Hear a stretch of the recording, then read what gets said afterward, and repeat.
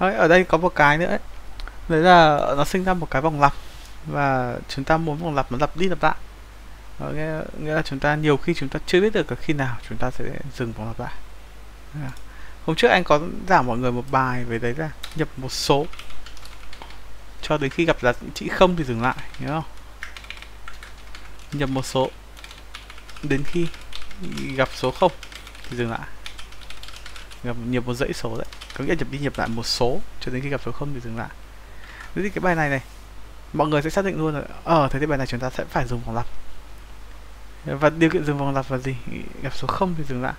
Nhưng mà mọi người chưa hình dung ra được là trong cái điều kiện đấy chúng ta sẽ phải làm cái gì. Chúng ta chưa biết được cái điều kiện đấy chúng ta phải làm cái gì. Mà chúng ta mới chỉ hình dung ra được là anh em mình, anh em mình sẽ cần một vòng lặp. Thì lúc đấy, mọi người làm cho anh một cái vòng lặp gọi là vòng lặp vô hạn. Đó là y một vì một ở trong C ngầm định một là đúng. Đây là y một luôn đúng. Cái vòng lặp này là một vòng lặp vô hạn. Là giống như ngân hôm ngân có hỏi ấy, đấy là tại sao bài của em chạy liên tục liên tục mãi không dừng ấy? Đấy là tại vì là em đã có một cái vòng lặp vô hạn. Điều kiện dừng nó không bao giờ đạt tới thì nó sẽ không bao giờ dừng à. Thế thì cái vòng lặp này nó có ơi, bài của Ngân là xét thay điều kiện trong ít ít thiếu một dấu bằng ờ thì nếu mà nếu mà vòng lặp mà nó nó không đạt không thỏa mãn cái điều kiện thì cái vòng lặp đấy nó thành vòng lặp vô hạn thôi. Anh không chưa cần biết được là cái y này nó thay đổi như thế nào gì thay đổi như thế nào nhưng mà nếu mà nó là vô hạn thì chắc chắc chắn là nó là dính một cái điều kiện là một cái điều kiện nào đấy nó không thỏa mãn. Ờ, quay lại đây đã. Thế nhập một dãy số cho đến cặp số không rồi dừng lại. Thì chúng ta muốn sử dụng một cái vòng lặp nào đấy mà chúng ta chưa biết điểm dừng thì chúng ta cứ viết như này cái đã này. Và chúng ta làm lần lượt này. Chúng ta sẽ chia ra ra thành các bước này. Nhập một dãy số. Có nghĩa nhập một số. Nhập số 0 có nghĩa số là số 0 thì dừng lại đúng không? Bước 1 nhập dãy số. Bước 2 gặp số 0 bước 3 thì dừng lại. À, chúng ta sẽ nhập một số integer n. Scanf của phần trăm d. Đây chính là bước 1 nhập một số. Nếu gặp số 0 nghĩa là nếu số này là số 0 if n bằng bằng 0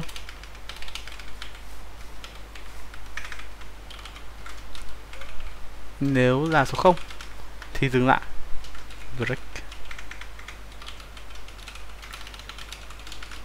Nào, em sẽ thấy là cái vòng lặp này.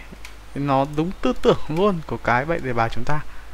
À, chúng ta sẽ nhập đi nhập lại một số. Cho đến khi gặp số 0 thì dừng lại. Nhập một số cho đến khi gặp số 0 thì dừng lại. Nên là chúng ta sẽ không phải làm các bước uh, như lần trước chúng ta làm ở do while đúng không? Thực hiện nhập một cái while n các không gì đấy. Thế, thì lúc lúc đấy bài toán của chúng ta ấy, nó sẽ không còn là uh, bắt buộc chúng ta phải nghĩ luôn cái, cái điều kiện là gì chúng ta xác định được là chúng ta phải có vòng lặp. Ok chúng ta cứ đưa cái vòng lặp vào đã một số bài toán ấy, nó sẽ khi mà em mà em chưa phân tích được cái bài toán ấy em cứ viết em biết là có vòng lặp vã thì em cứ viết cái vòng lặp. Xong rồi em cứ giải quyết bài toán từng phần một từng phần một như lúc nãy anh làm ấy. Để chúng ta sẽ chia bài toán này ra thành các phần nhỏ các phần nhỏ. Và chúng ta sẽ thực hiện từng câu lệnh một tương ứng các phần đấy. À, câu bài này nếu mà chạy. 5 9 trừ 4 không. Gặp số 0 thì dừng lại.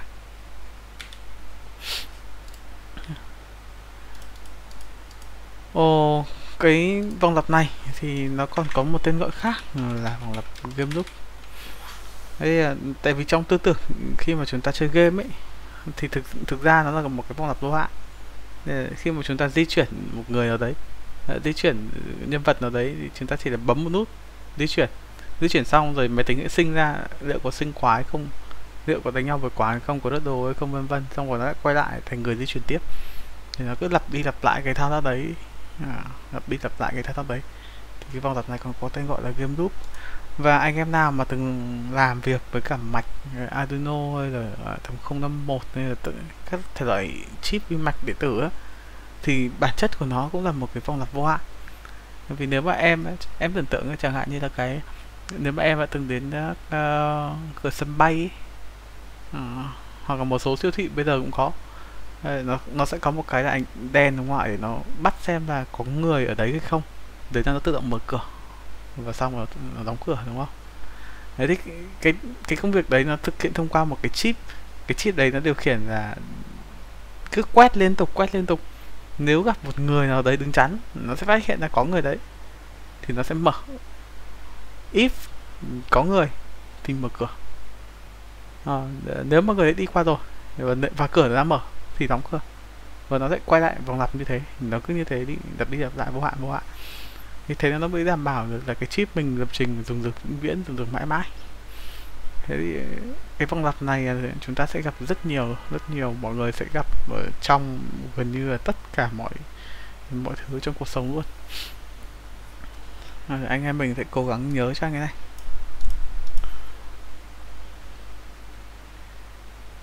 Ok sao thế em?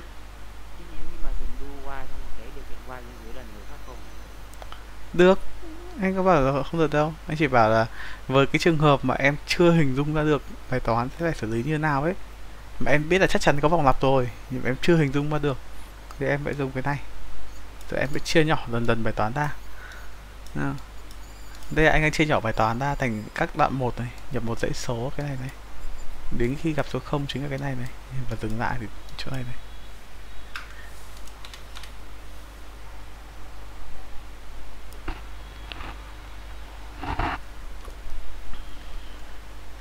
Tiếp không ờ thôi, tạm thế đã. Anh em mình có câu hỏi gì về các bài tập ờ, cần anh chữa bài nào không? Trong số các bài về vòng lặp thì cần chữa bài nào không? Trừ các bài vẽ hình về sau nhá vì cái bài vẽ hình đấy mà anh có ngồi nói thì mọi người chả hiểu đâu. Cái này thì tự tư duy thôi. Từ sau bài 9 rồi đi ấy.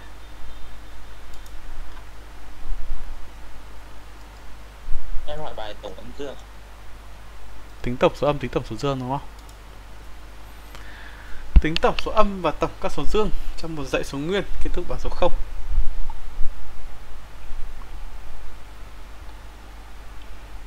à ở đây còn có một cái nữa. Đấy là chúng ta sẽ có một cái là số lượng test case.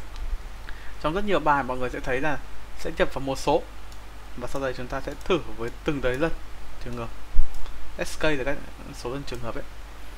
Thế thì ờ, để làm được cái này này, thì chúng ta có thể có hai cách. Cách thứ nhất là khi chúng ta nhập một số.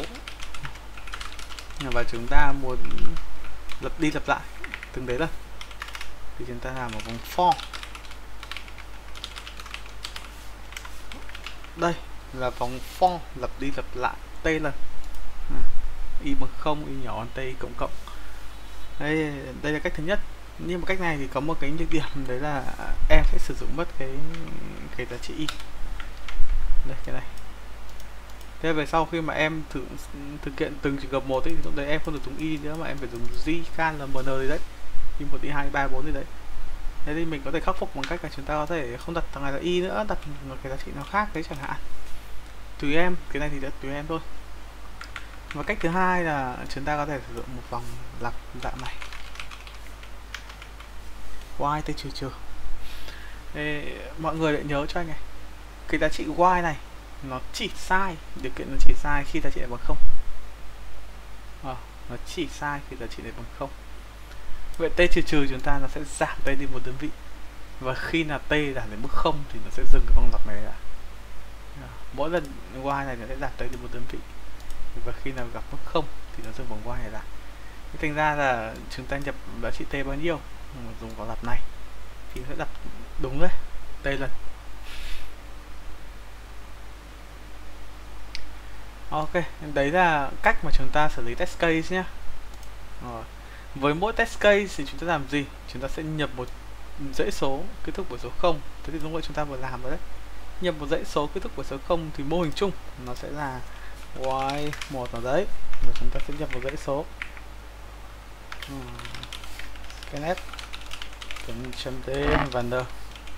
Kết thúc của số 0 đúng không? Vậy là nếu n bằng bằng không thì cách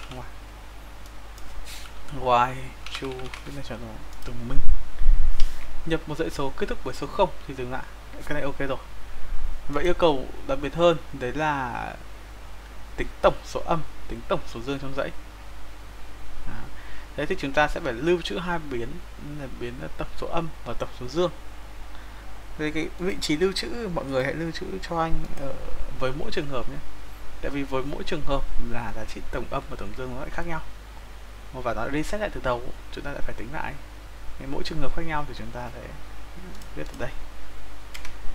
Này, tổng âm. Số âm. Và có giá trị khởi đầu bằng không. Tổng số dương. Có giá trị khởi đầu bằng không. Và chúng ta thực hiện đi, thực hiện lại thao tác gì? Chúng ta thực hiện đi, thực hiện lại thao tác là nhập số. Nếu số đó bằng không, break. Nhưng, nếu nó không bằng không thì mình phải kiểm tra nếu là lớn hơn không thì chúng ta sẽ cộng số đó vào tổng số dương. Còn nếu n nhỏ hơn không thì chúng ta cộng số đó vào tổng số âm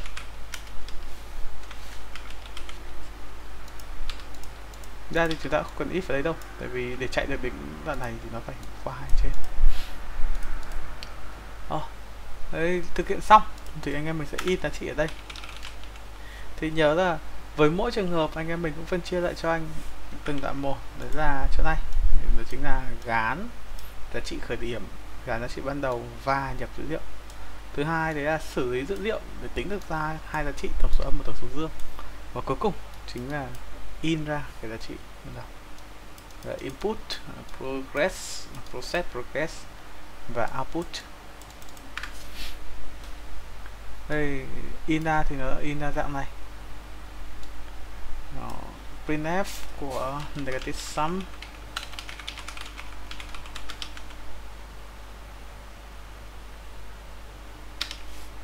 XEE là giá trị tổng ra với 6 vị trí phần trăm 6D chấm phẩy. 1 2 3 4 5 positive sum bằng phần trăm 6D đúng chưa? Chúng ta của tổng số âm tổng số dương à, ờ, anh em mình chạy thử chương trình. Không lỗi nhập thực này. Đấy thì chúng ta sẽ tính được cái tổng số âm. Tổng số dương dần dần như cái này.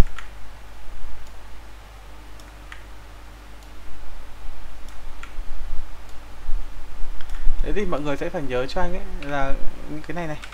Chúng ta ở đây là input. Đây là các giá trị input là giá trị chúng ta nhập. Còn cái phần đỏ là cái giá trị output là cái mà máy nó in ra. Chúng ta không chụp vào máy in ra. Là miễn làm sao cho cái phần output ừ, là cái phần đỏ ở đây nó trùng với các phần đỏ ở trên là được. À, phần input thì nó trùng với cả phần màu xanh này là được. Đấy nhá. Mình, mình không nhất thiết là mình phải in tất em phải nhập tất cả rồi mình mới in mà máy tính nó hiểu ở đây là luồng dữ liệu vào và luồng dữ liệu ra. Thì anh em mình chỉ nhớ là input là những cái màu xanh ở đây, những cái chúng ta nhập. Thì chúng ta phải có một cái output tương ứng với đống màu đỏ. Hai giá trị này giống nhau mà được. Có phải đúng thì anh em mình sẽ copy code này và up lên trên.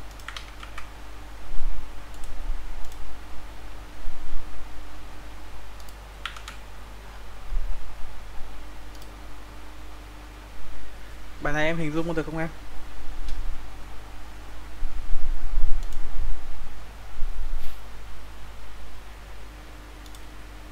Hát vừa hỏi đấy?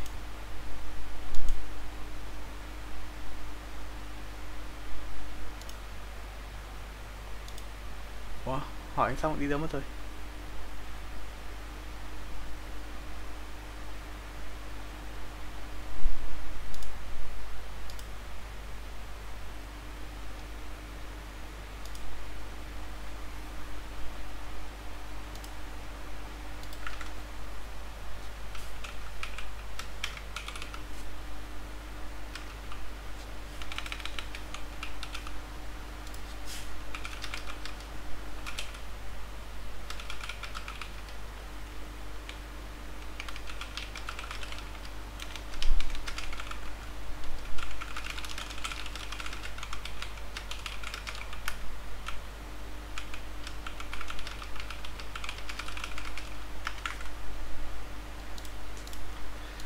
à, lớp mình còn bài nào nữa không?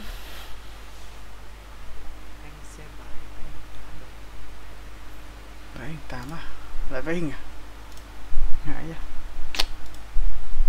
ờ, vẽ hình vẽ hình vẽ hình tám.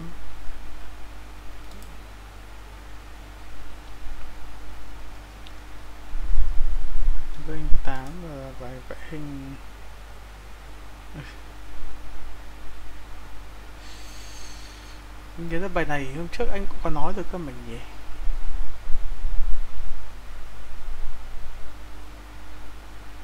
Ôi tự ra tí mấy bài này tự ra đi Tao không muốn chữa đâu Thì mấy bài này mà chữa Thì rất khó để anh có thể giải thích cho mọi người.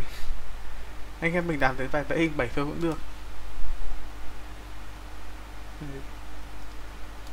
Từ bài 8 rồi đi là anh cực kỳ khó để anh anh giải thích cho mọi người uh, anh vẽ nó như thế nào? Mặc dù những bài này người ta làm lâu lắm rồi ta làm đi làm lại mấy lần rồi anh cũng chưa tìm ra một cách để anh có thể giải thích cho anh em tại sao anh lại làm thế. Anh em thông cảm.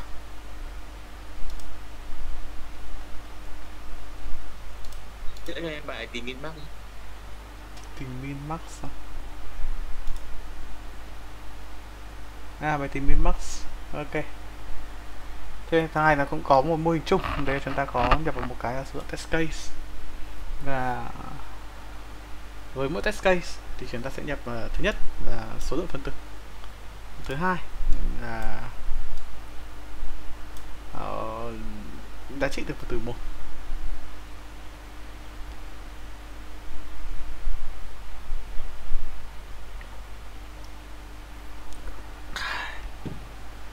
Yeah. Dạ.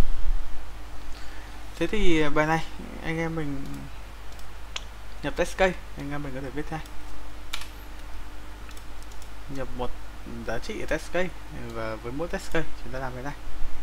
Ờ, sau đấy thì anh em mình sẽ phải nhập thứ nhất là số lượng phân tử. Anh phải đưa là biến n. Số lượng phân tử. Đúng không?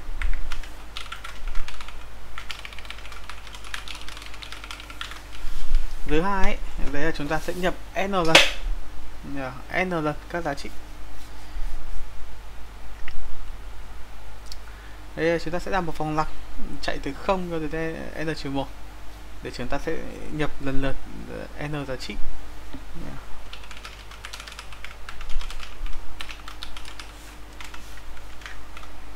Yeah. y bằng 0 y nhỏ n y cộng cộng thì rõ ràng là thằng này là nhập n giá trị thôi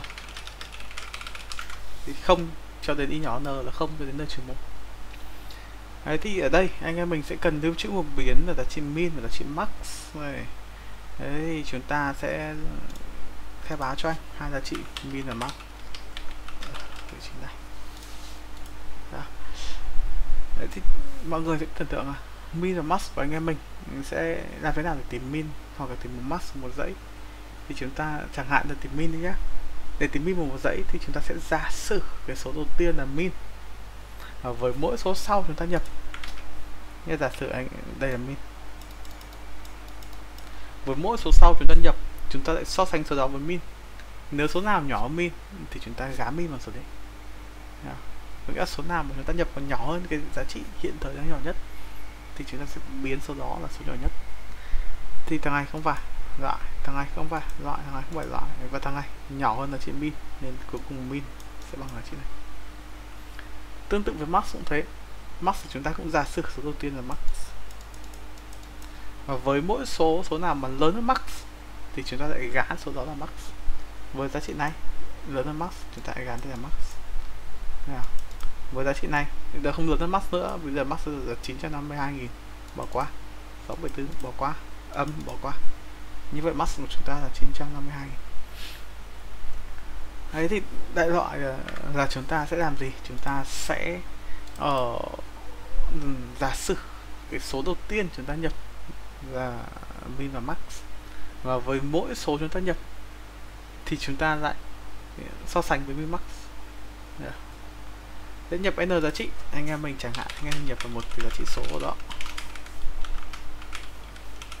à, bây giờ giả sử số đầu tiên là min và max hay cái cách khác là nếu y bằng không thì chúng ta sẽ gắn min bằng max chỉ số đấy. Đó. biết thế này thì cho mọi người min bằng cái số đó và max bằng cái số đấy. Giả sử cái số đầu tiên nhập là min max. Tiếp theo. Ờ, nếu nếu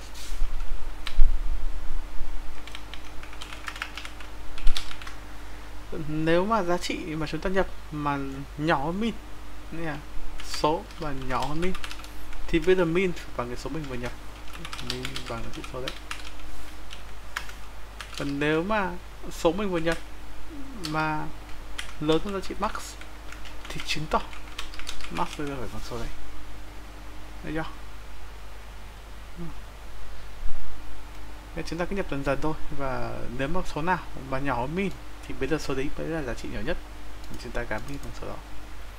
Nếu số nào mà lớn hơn max thì chúng ta sẽ gắn max bằng số đấy. Và thực hiện xong cái đoạn nhập n giá trị này rồi thì chúng ta sẽ in ra kết quả ở đây. Printf uh, min bằng phần trăm 5d 5 chấm bao, bao nhiêu chấm bao nhiêu đây 15.3 rồi thằng này là F à không phải D à? Ba chữ số là F. Thì chúng ta phải nhập lại thằng này là float Đó, ờ, thằng này là float đội anh đội anh. 15.3 F. Chấm phẩy.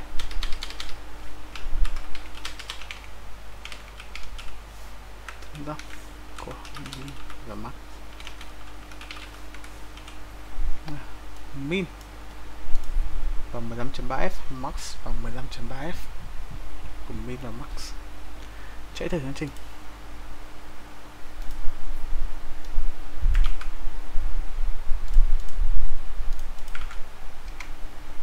Min ờ, và max giống nhau. Min bằng âm 317 là 43 à thằng này bị làm sao đấy mà tới 091 nó lại đến 094 rồi đây thằng này max bằng chấm 313 ờ anh quên mất. Quên mất, hai giá trị này mình phải cả bắt được một không?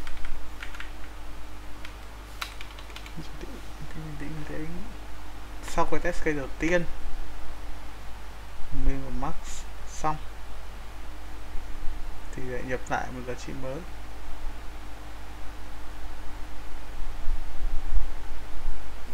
Em mà không đúng không anh? Ừ. không. Đáng ra không cần phải gắn bằng không tại vì kiểu gì nó cũng sẽ gắn lại ở đây rồi. Đây này cái giá trị này kiểu gì y với, với giá trị khởi đầu thì nó cũng phải gắn lại rồi. Nhưng mà tại sao nó lại bị đổi giá trị quanh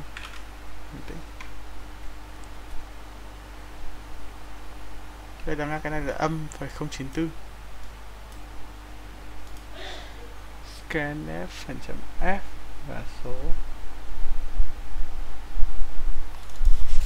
rất double rồi mà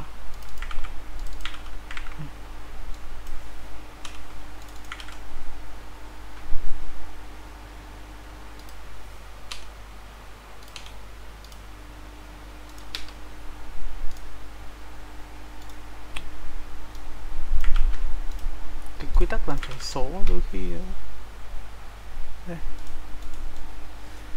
Double thì đúng còn uh, flat thì sai cái quy tắc làm tròn số ph- phát với cả double nó hơi khác nhau một chút. Nghĩ ra thằng double nó sẽ đúng chính xác hơn. Ơi. Anh ơi cái cái um, min với max sẽ đứng được dán khi y bằng không được yên không thì dán lên đầu cái test kem một khi rồi. Còn các phải dán lên đầu phần tử của mỗi x mã.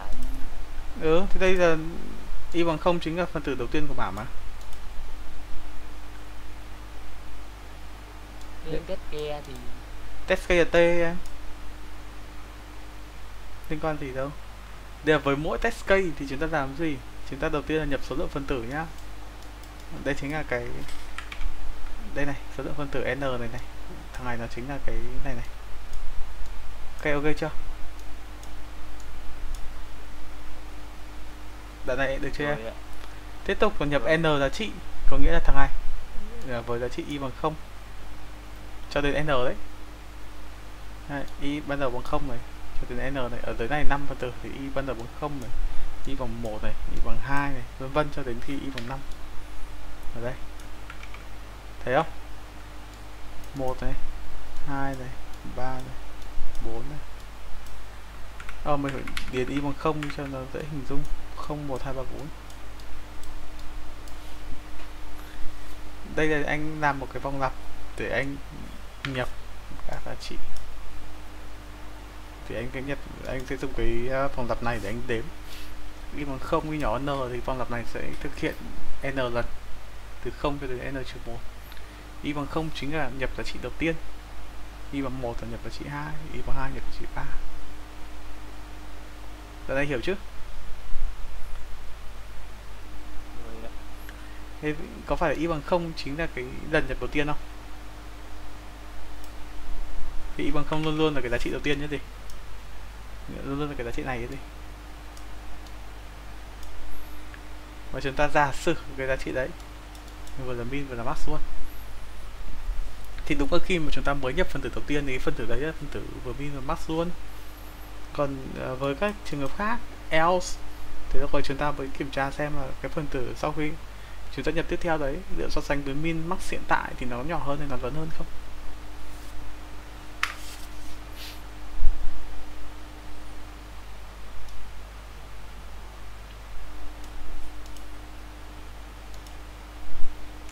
hiểu không em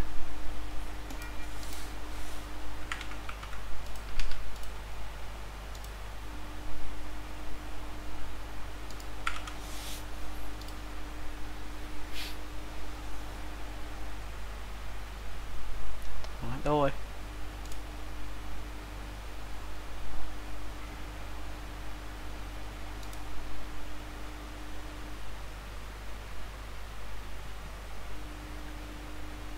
Em hỏi tí ạ. ờ hỏi đi cái giống như mắc mà nếu mà để dân như anh thì nãy đồng bị như phải mắc thì em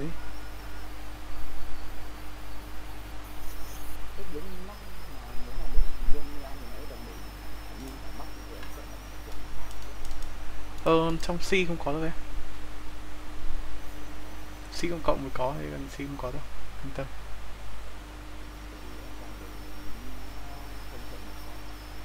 Cái- em đặt tên biến khác đi. Được em sẽ em để hai chữ N mắc đấy thì đấy là tùy em thôi.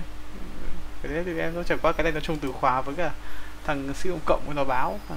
nhưng mà tại vì chúng ta làm xin không cần quan tâm đâu.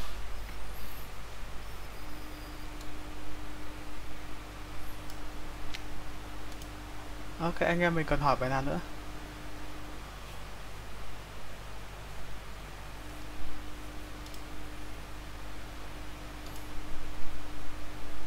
Ai ra Bùi Huy Thăng. Thăng sáng ngôi của Bắc rồi. Này tuần này có ra phần thưởng gì không ạ? Ờ, Wallpaper Engine đấy. Là cái màn ảnh động này này. Và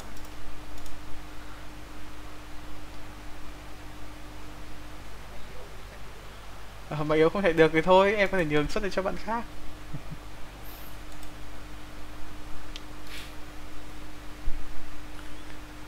tới tao tháng 11 anh phải đi làm rồi là bắt đầu phải mua đồ rồi.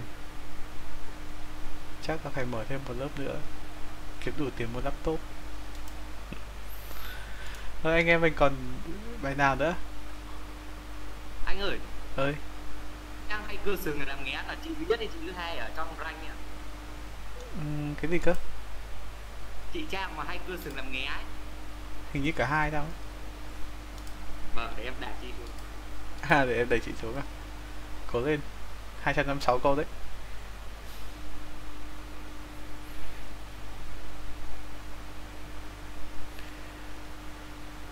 Tiếp tục anh em mình có câu nào nữa không anh em ơi? Em phải tổng dãy số. Tổng dãy số à? Tính tổng dãy số đúng không tổng dãy số thực đây đúng không? Có năm à? Không ạ. À, ok. Tính tổng dãy số thực thì chúng ta nhập dãy số cho đến khi gặp số không dừng lại. Và chúng ta tính tổng các số ấy thôi. Thế thì cái này là cũng chín á không ba chín á không phải bốn năm. 39 à? 39 à. Tổng dãy số tính giá trị n sao cho x và n đặt giá trị lớn nhất của bài này cái đợt làm lưu đồ anh cũng cho mọi người làm chưa nhỉ? Bài này thì anh em mình cứ anh anh mình nhập x đầu tiên này xong rồi anh em mình tính tổng các số y chạy cho đến khi nào mà cái tổng s của chúng ta mà lớn hơn giá trị x này thì chúng ta dừng lại. À, lớn hơn giá trị x thì chúng ta dừng lại và chúng ta in ra giá trị y trừ một nghĩa là sao? Hỏi em nhập một giá trị x. Yeah, xong rồi em cứ tính cái giá trị ờ, sigma của y từ 1 cho đến một số nào đấy mình chưa biết. Của y có nghĩa là chúng ta sẽ cộng lấy 1 cộng 2 cộng vân vân vân cộng y. Gắn này bằng s. Và khi nào mà s mà lớn hơn x có nghĩa là nó không không thỏa mãn cái này nữa thì chúng ta dừng lại và chúng ta sẽ lấy cái giá trị y trừ một lấy cái thịnh ngay trước nó thì lúc đấy cái giá trị ngay trước nó chính là cái giá trị mình cần tìm. Đó chính cái giá trị và tổng tổng các số từ 1 cho đến n để làm sao cho nó thỏa mãn là tổng đấy nó vẫn nhỏ hơn là bằng x. Hiểu không em?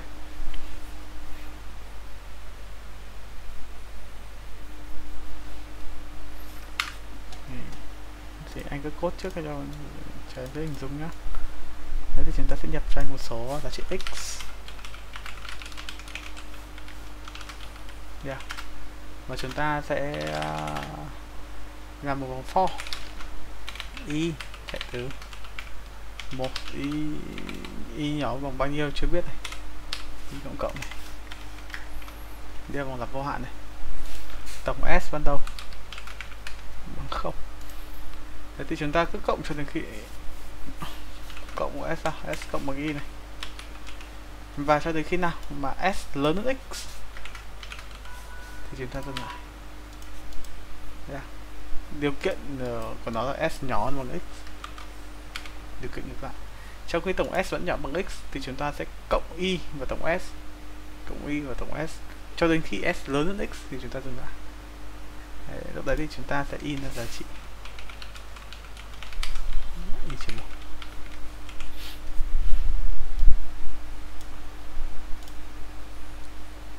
đây ừ, chúng ta bị sai một chỗ à ờ đây s nhỏ hơn x. Tại vì điều kiện x lớn bằng s nên là điều kiện ngược lại chúng ta sẽ s nhỏ hơn x. Ừ, mình bị một chỗ ở đấy mình xem nào. Nhập vào hai. In ra giá trị một cộng y bằng một này. S nhỏ x. Y cộng cộng.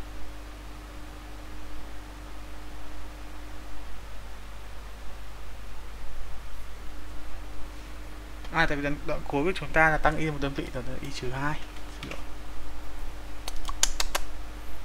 Quên quên quên quên.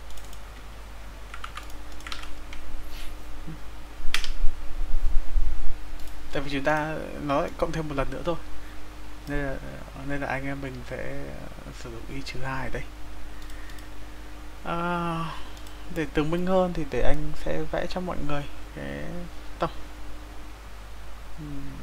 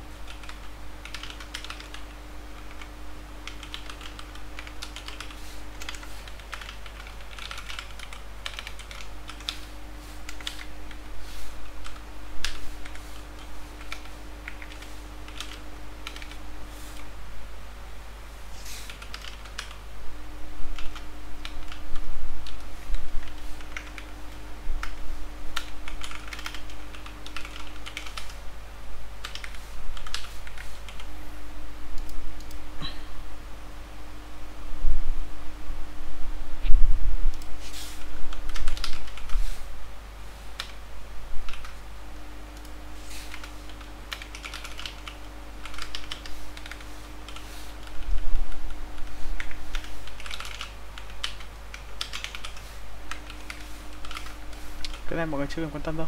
Anh chỉ in ra cho mọi người xem thôi.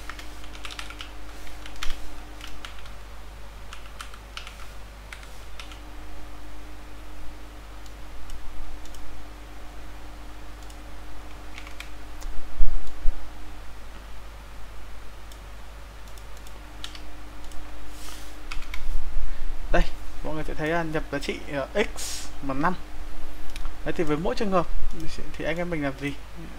Nên mình sẽ thử lần lượt, cộng lần lượt các số, cho đến khi gặp cái tổng s của nó mà lớn hơn cái giá trị này. Thì chúng ta dừng lại vì đến cái đoạn này, đến đây là nó không thỏa mãn nữa rồi. Đúng không? Đến đây là chúng ta không thỏa mãn nữa rồi với tổng s bây giờ đã lớn hơn x rồi. Nên chúng ta sẽ lấy cái giá trị ở trước nó. Vậy làm thế nào để lấy giá trị trước nó? Thì ở đây y hiện thời bằng 3 này. Đúng không? Vậy mình cần lấy giá trị trước nó là hai chứ gì. Nhưng mà nhớ là sau khi thực hiện xong cái này thì y đã tăng lên một đơn vị tại vì nó chạy đến bước nhảy mà lên bằng 4 như vậy để lấy cái giá trị trước nó thì chúng ta phải trừ đi hai lần. Ờ, 4 trừ đi 2 còn 2 nên chúng ta sẽ lấy được giá trị y bằng 2 chính là kết quả bài toán ở đây. Tương tự với giá trị 1000 1000 to quá. 60 thôi. Đấy, mọi người sẽ thấy là nó sẽ cứ cộng dần dần cho đến khi nào cái tổng S của chúng ta uh, nó vượt quá giá trị X thì chúng ta dừng lại. À, đến đây là 66 chúng ta dừng lại này. Nên như vậy thì giá trị chúng ta cần tìm sẽ là giá trị 10 tại vì khi cộng đến 10 thì nó chưa quá đến giá trị 66 cộng 11 thì quá rồi nhưng mà 11 thì chưa quá. Như vậy chúng ta sẽ tìm cách để lấy được giá trị này. Giá trị này chính là giá trị y của vùng lặp trước. Mà chúng ta trừ từ ngày đi cho hai đơn vị hợp lý à. Mọi người hình dung ra được không?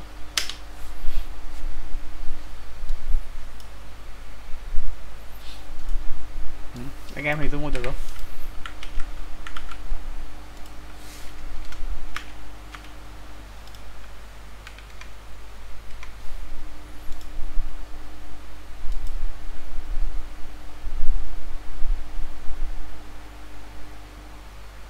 Cái này chẳng hạn là nguyên dương thì không có giá trị không.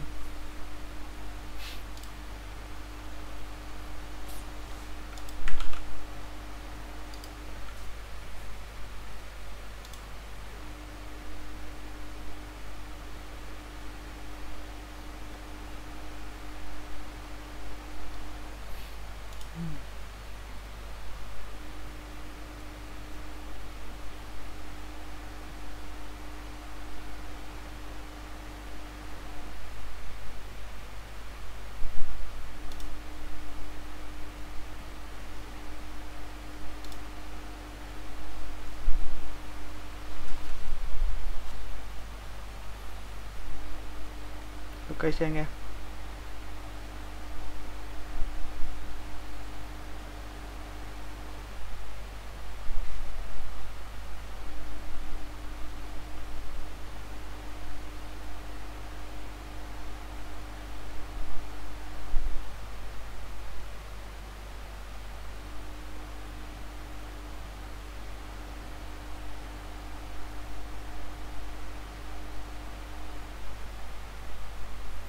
mình còn câu hỏi gì nữa không nhỉ?